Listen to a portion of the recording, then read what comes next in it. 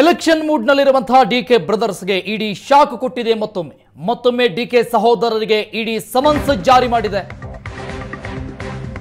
ಈ ಮೂಲಕವಾಗಿ ಸೋಮವಾರ ವಿಚಾರಣೆಗೆ ಹಾಜರಾಗುವಂತೆ ಡಿಕೆ ಬ್ರದರ್ಸ್ಗೆ ಸಮನ್ಸ್ ಜಾರಿಯಾಗಿದೆ. ದೆಹಲಿಯ ಇಡಿ ಕಚೇರಿಯಿಂದ. ಮತ್ತೊಮ್ಮೆ ಡಿಕೆ ಸಹೋದರರಿಗೆ ಇಡಿ ಸಮನ್ಸ್ ಜಾರಿಯಾಗಿದೆ. ಸೋಮವಾರ ಹಾಜರಾಗುವಂತೆ ಡಿಕೆ ಬ್ರದರ್ಸ್ಗೆ ನೋಟಿಸ್ ನೀಡಲಾಗಿದೆ.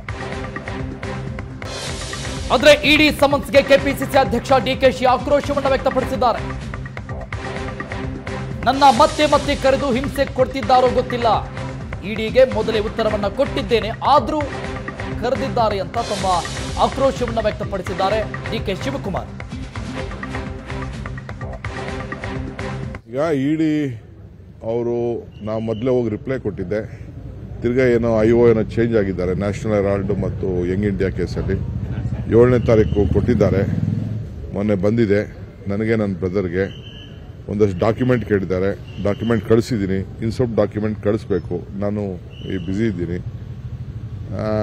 ಆಮೇಲೆ ಈ ಮಧ್ಯ ತಿರ್ಗಾ ನನಗೆ ಡಿಸಪ್ರೇಟ್ ಅಸೆಟ್ ಕೇಸಲ್ಲಿ ಇಲ್ಲೂ ಫೈಲ್ ಮಾಡಿದ್ದಾರೆ. ಇನ್ಕ ಇಲ್ಲಿ ಸಿ ಬಿ ಐವರು ಫೈಲ್ ಮಾಡಿದ್ದಾರೆ.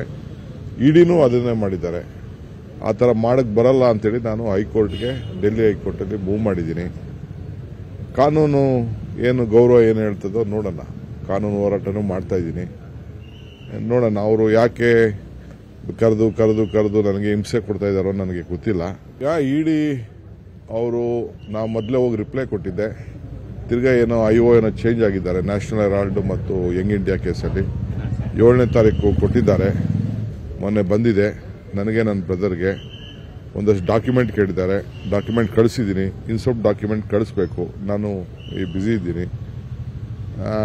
ಆಮೇಲೆ ಈ ಮಧ್ಯ ತಿರ್ಗಾ ನನಗೆ ಡಿಸಪ್ರೇಟ್ ಅಸೆಟ್ ಕೇಸಲ್ಲಿ ಇಲ್ಲೂ ಫೈಲ್ ಮಾಡಿದ್ದಾರೆ. ಇನ್ಕ ಇಲ್ಲಿ ಸಿ ಬಿ ಐವರು ಫೈಲ್ ಮಾಡಿದ್ದಾರೆ. ಇಡಿನೂ ಅದನ್ನೇ ಮಾಡಿದ್ದಾರೆ. ಆ ಥರ ಮಾಡಕ್ಕೆ ಬರಲ್ಲ ಅಂತೇಳಿ ನಾನು ಹೈಕೋರ್ಟ್ಗೆ ಡೆಲ್ಲಿ ಹೈಕೋರ್ಟಲ್ಲಿ ಮೂವ್ ಮಾಡಿದ್ದೀನಿ. ಕಾನೂನು ಏನು ಗೌರವ ಏನು ಹೇಳ್ತದೋ ನೋಡೋಣ. ಕಾನೂನು ಹೋರಾಟನೂ ಮಾಡ್ತಾ ಇದ್ದೀನಿ. ನೋಡೋಣ ಅವರು ಯಾಕೆ ಕರೆದು ಕರೆದು ಕರೆದು ನನಗೆ ಹಿಂಸೆ ಕೊಡ್ತಾ ಇದ್ದಾರೋ ನನಗೆ ಗೊತ್ತಿಲ್ಲ.